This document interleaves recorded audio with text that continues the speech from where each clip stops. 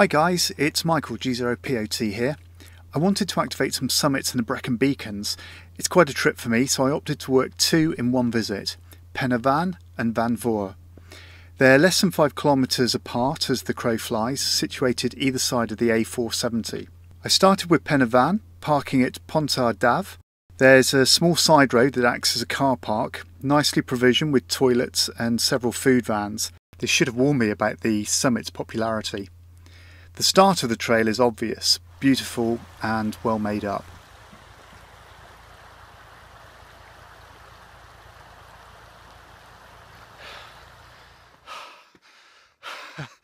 oh, man, I'm. Okay, I'm back. 20 minutes into the climb. It's actually not too bad. Path is very well made up, good wide, well maintained. Quite busy. Lots of people here. When I parked earlier, the car park was full. So, uh, popular spot, and you have to try and find some room at the summit. In front of me is, I think, not the summit I'm climbing. I think that's Corn Du uh, in front of me. Pen y Fan is tucked behind that and got to the right. Again, apologies for my fantastic Welsh pronunciation. Whew, right, not far from the bridge I don't think, but uh, let's keep going. So this is from my 15, 20 minutes, 20 minutes up position.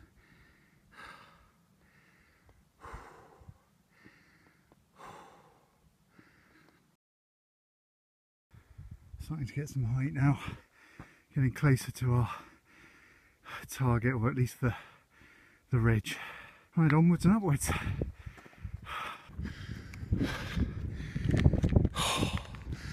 Okay, just past the crossroads for Corn Du and Pen y Fan. Uh, so I've taken the turning to the well, to the right of the two to head across to that second ridge. There's the first one, there's the second one, which is hopefully Pen y Fan. Whew. I am about uh, what's that 25 35 40 minutes into the walk beautiful views up here starting with Pen y Fan there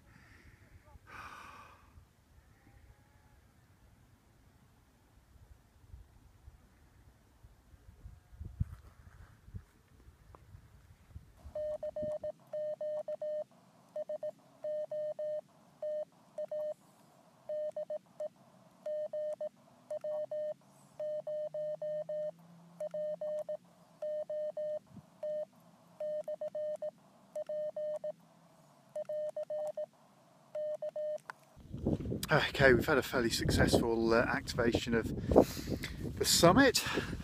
This is definitely not a quiet summit. There's a lot of people up here.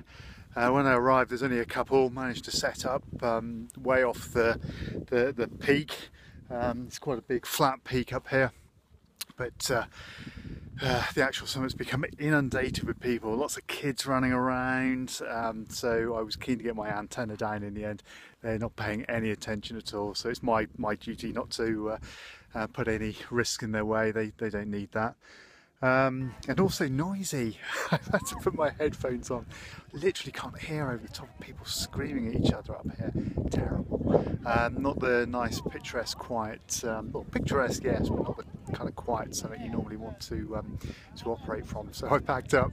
I'm going to uh, head back down now. Nice activation though, really nice little summit. Great views from up here. But yeah, very very busy.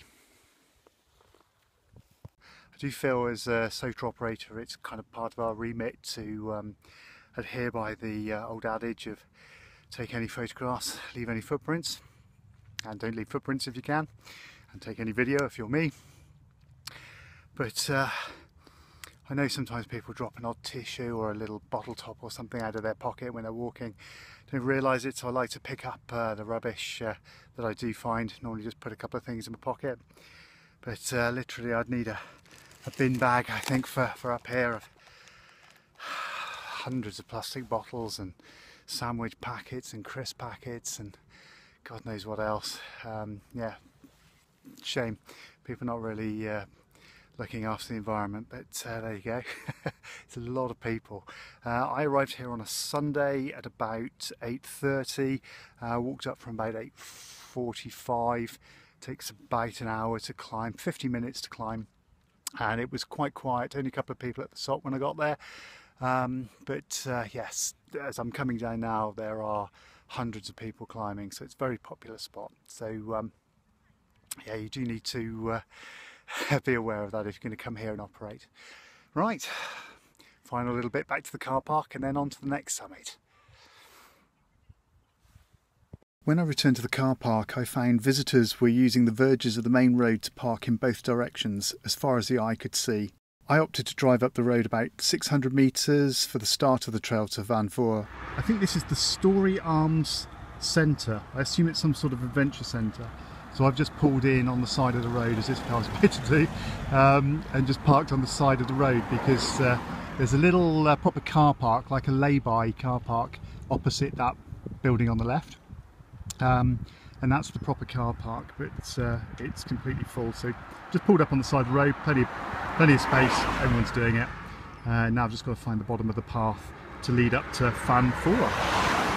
The start of the trail is obvious but note I struggled to see a clear path and took a less than optimal route on the way up to the summit. So if you uh, try parking here to go up Fan Fawr and think mein Gott das ist nicht gut don't panic. Uh, people park all the way along here and actually they're crossing the road and they're going up that path the other side of the road which is uh, another route up to Pen y Meanwhile I'm heading in this direction not a distinct path on this side so far and I think I'm heading up there. The ground at the bottom of this hill is a little bit boggy but not terrible but it is the height of summer so it could possibly get much boggier in the winter. It's fairly easy to uh, avoid the really wet bit. As I've walked a couple of minutes up from the car park, uh, you immediately see a trail branching to the right of where the summit would be. So uh, I'm heading a little off-piste, but I'm going to follow this trail and see if it takes me roughly in the right direction. Uh, and then I'll probably have to cut a left somewhere and uh, make my way up to the summit.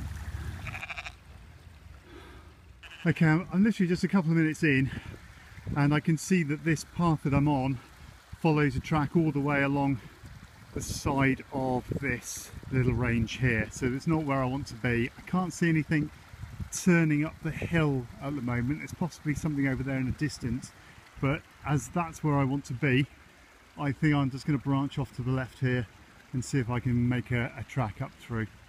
Well, the marshy conditions at the bottom of this summit are explained somewhat by the little waterfall coming down from the summit. oh. yeah, man, that's cold. Oh, that is chilly, but very refreshing. okay, so I've just come from the bottom of the waterfall. I went up the right hand side and I've just zigzagged up. It's very steep, but not undoable. Certainly in the dry or if you have snow, I think it'd be fine. Maybe a bit tougher if it's wet and slidey. But I've just come over the top of what I thought might laughably be the uh, the summit and uh, need to see that behind me quite some way away looks closer in the camera. It's pretty, that's, that's got to be a kilometre or so away, I think, from here.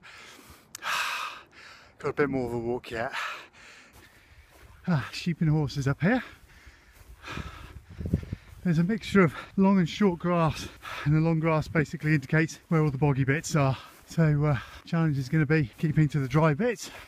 I can see another climber making his way along that ridge line which might be a good idea. Probably a gentler ascent. I'm going to go in in the middle of the shot and probably bear left, make my way up to the ridge in a more gentle fashion and then follow that ridge up to the top. Now as I got to the northeast face of uh, Fan Fawr, um, I noticed rather than heading up to the left and then picking up the main ridge line that I'd seen, I noticed there was a distinct path cutting across upwards and to the right towards the west. Um, and when I looked at the geography of the hill, actually it looks less steep from the western side. So I'm taking this diagonal path upwards and to the west. Uh, so up and to the right as I look at it um, uh, to try and bear around to the west side of the hill. And uh, and then we'll try and cut up to the top from from there. Hopefully it's not quite as steep. Um, hard work. Harder than uh, Pen y Fan I think. Um, but, uh, but you know but a lot quieter it's probably a good thing uh, it's not so many people here I saw one person making their way up to the summit a long way off but uh, uh picked a good day for this I've specifically picked a day where it's clear um, and dry, but not too sunny. So there's high cloud, a little bit of haze, uh, but uh, you still get great views. But there's a little bit of high cloud just to keep the worst of the sun off, and obviously big sun hat uh, just to keep the rest off. So um, it's bright and dry, but uh, not too hot. Uh, fantastic views. Uh, just looking down through the valley here and then casting across to the right that is Corn Du which is right up next to Pen y Fan. Anyway, can take a quick break and then head on up to the summit. Well this is a little bit more like it. I'm at the summit of uh, Fan Fawr. Um, that was a tough climb actually, it was quite hard. I'm sweating a bit. Um, but it's empty up here. I saw a couple of people walking up ahead of me um, but they've obviously been to the summit and walked on. I can see a, another summit to the south of me here, so I think it's probably a bit of a trail that people do. Uh, just got set up. I don't know whether you can see the um, antenna here behind me. Um, I've got my end-fed half wave uh, with me today, so uh, operating on 40 and 30. I um, might have a little listen on 20 now just to see if I hear anything uh, as well. Um, and my uh, SOTA travel pole, um, which, uh, there we go, hopefully just got that in the shot, um, which is doing lovely today. Ah, fantastic, beautiful views from up here, a little bit hazy, but, um, and the, the, the summit is quite flat, so um, you, you can't kind of stand on the top and, and get a 360 quite as, quite as easily. Um, it's surprisingly wet up here. Thankfully I brought something to sit on, but the, the whole top of the hill is saturated. Um, with some stinky pools as well. And uh, I've been badgered by flies from the second I got up here. Although they've finally gone away I think. They've been following me around probably while I was still sweating. Mm, nice. Um, but now they've uh, they've buggered off thank god. So um, right I'm just getting set up and I'm going to give a, a, CQ call on 40 I think to get started with and uh, see if I can work anyone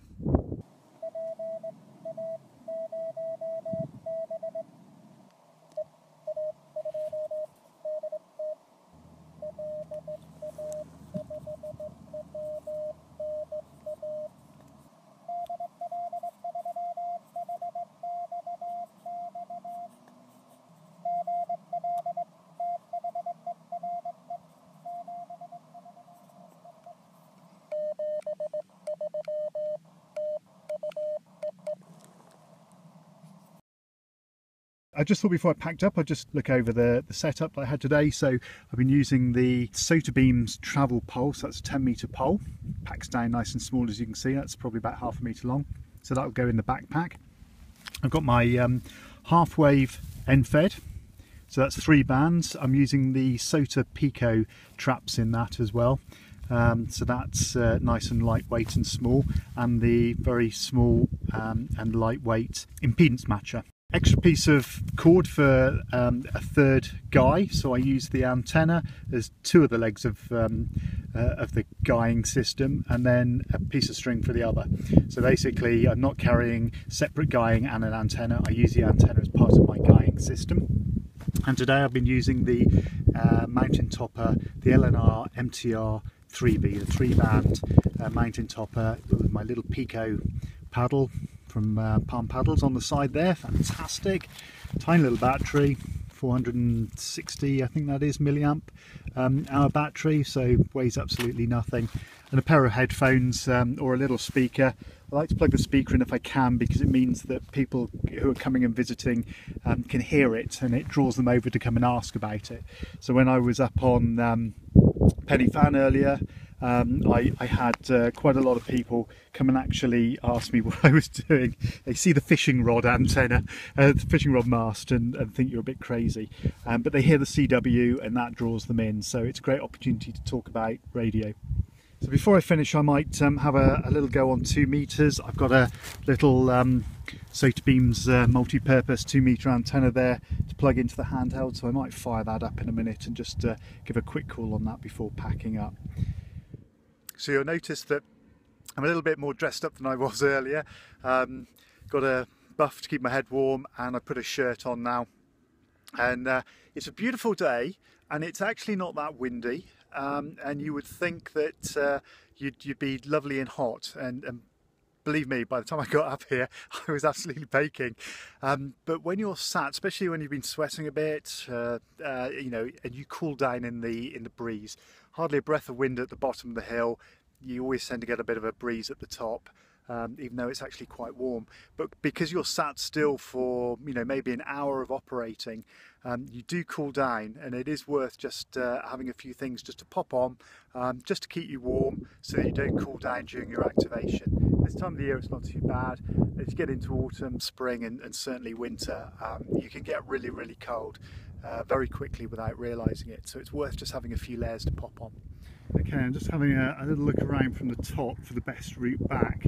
Uh, sometimes it's easier to find a way down than it is to find a way up because you can see the tracks more clearly. Um, the buildings just down there centre shot where I'm parked and I think I'm going to make my way down this um, uh, this little prominence to the left here and see how steep that is when I get uh, a little further down towards the um, the end. Okay, so uh, coming down I have found a much better route um, which I will mark on my associated map for this uh, summit. Uh, coming directly down from the top there, very clear path all the way down, fairly well stepped into the hillside at the top where it's steepest. I think that's probably an easier way up if I'm honest. As you get down here onto the kind of, there's, there's like a plateau before you then drop down to the road. And it's uh, easy to uh, lose track of quite where you're heading unless you use a compass. But um, actually you'll notice when you get down on the plateau you can see paths going up on the hillside opposite. Those are the paths up to um, Pen y Fan you can just use that as a reference. The uh, the leftmost one at center screen at the moment is um, pretty much opposite the, the little car park so I'm basically following uh, a very rough path through the uh, grass now um, it's not easy to see but it's basically just slightly worn grass and I'm using the, uh, the path up the opposite hillside as my target point as to where I'm ultimately trying to head to. So uh, typically climbing a hill and coming down takes about the same amount of time. Always find that weird, but I guess uh, on the way down you're being careful not to twist an ankle or sprain a knee. Um, so uh, you're not necessarily going much faster than you would be on the way up. But uh, for really steep hills like this is where I find you get that exception. And it took me about an hour and five minutes to go up. And it's taken me about 35 minutes to come down. Now clearly I find a slightly more efficient route on the way back um, but I think it would have still taken me longer on the way up if I'd gone up uh, the, the same way as I've come down it's just very steep and very slow going on the way up uh, on the way down, although it's quite steep, uh, those steps that are kind of cut into the mud make for quite a quick descent.